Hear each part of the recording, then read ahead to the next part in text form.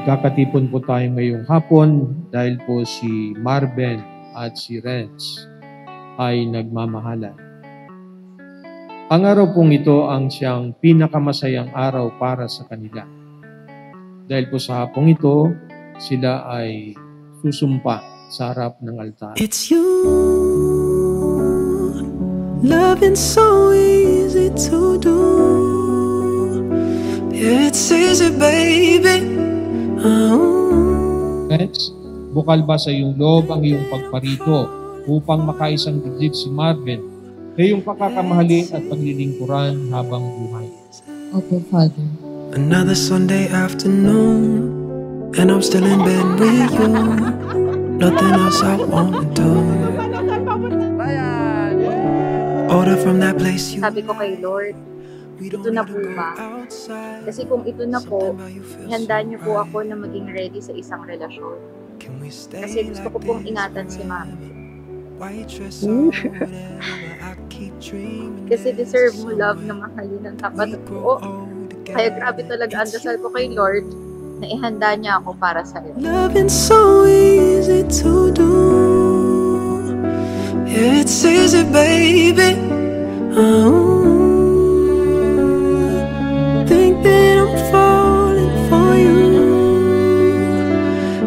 Ah, nagpapasalamat din ako kung hindi dahil sa iyo wala rin ako dito sa mundong ito. Ah, hindi man tayo nagkasama na matagal. Ah, ah, alam ko sa buong puso ko, mahal na mahal kita pa. Snacks in the late night. We don't need to do fine dining. Make love when the sunrise. Pillow talk in the silence. Like this forever. White dress over. Panginoon na sana sagutin mo ako at sana ikaw na ang babaeng makasama ko habang buhay.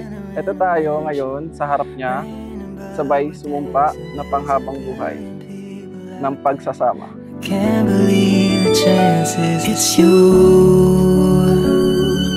Loving so easy to do. It's easy, baby.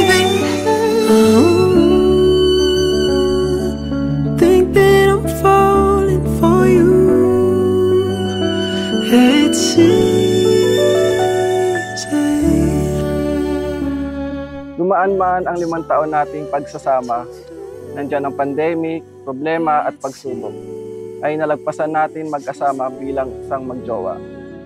Ngayon ay handa na akong harapin natin ang mga bagong pagsubok sa ating buhay bilang mag-asawa naman.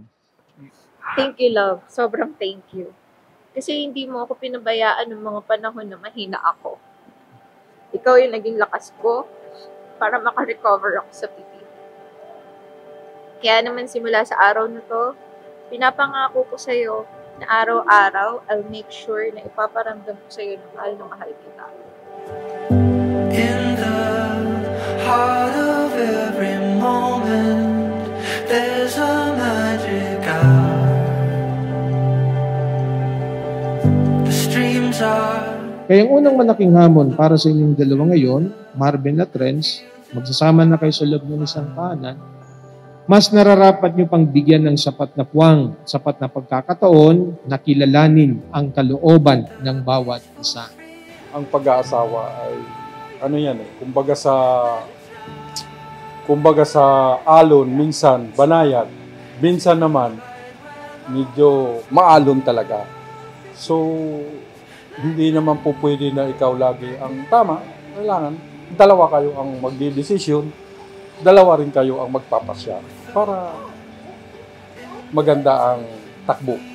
ang wish ko lang sa anak ko na sana maligaya siya sa bagong journey sa buhay mo at sana madami pang mabigyan mo ako ng madami pang apo. Yun lang. Congratulations. Thank you, ma. Love you, ma.